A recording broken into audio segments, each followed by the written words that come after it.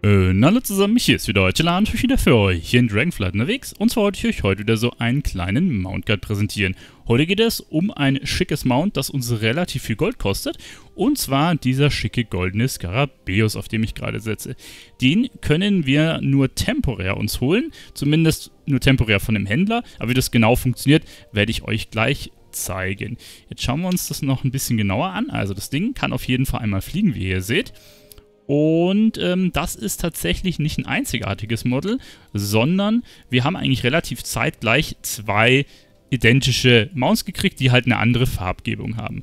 Und da geben wir jetzt mal Scarabeus ein, da haben wir es. Also hier haben wir den goldenen, auf dem ich gerade sitze und es gibt noch so einen kupferfarbenen. Ich muss sagen, der goldene ist definitiv der coolere von den beiden. Wir können jetzt auch mal noch Mount Special Mal vertippt. So, jetzt haben wir das Mount Special.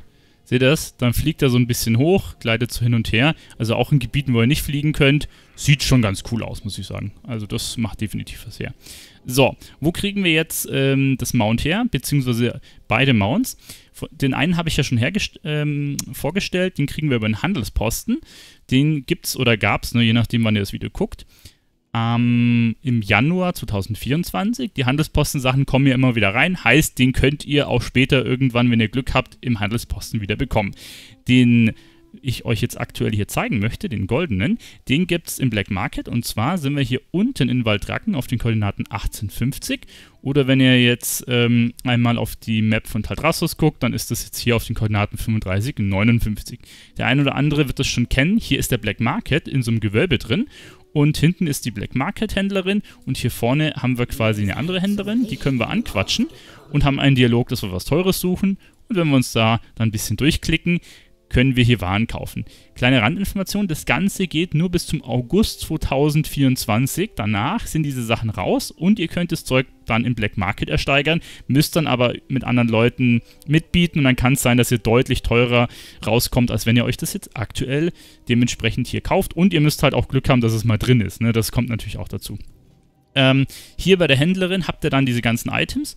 Einmal das Mount, das kostet 1 1.200.000 Gold. Also über eine Million Gold müsst ihr dafür zahlen. Hier gibt es dann noch einen Haufen T-Mog. Ich habe mir das gerade schon alles geholt. Wenn ihr euch das ein bisschen genauer anschauen wollt, ich habe dann einen Waste Guide oder eine äh, Waste of Money Video aufgenommen. Das ist so eine Serie, die ich betreibe und da habe ich mir alles eingekauft, also alle T-Mox-Sachen und natürlich auch das Mount, kommt unterm Strich hier auf 2,1 Millionen Gold raus, also doch eine ganze Menge und ja, es sind ganz nette Mounts, äh, ganz nette T-Mox dabei neben dem Mount also kann sich für den einen oder anderen schon lohnen. Ob es natürlich so viel Gold wert ist, sei jetzt mal dahingestellt. Aber ich als Sammler kaufe mir sowas natürlich gerne. Gut, damit wären wir durch mit dem kleinen Mount Guide. Heißt, ihr braucht 1,2 Millionen, geht zum Händler, kauft es euch und dann habt ihr das schicke Mount, um es ein bisschen kürzer zu machen. Juti, damit sind wir durch. Hat mich gefreut, dass ihr dabei wart. Euer Tila, bis zum nächsten Mal. Ciao.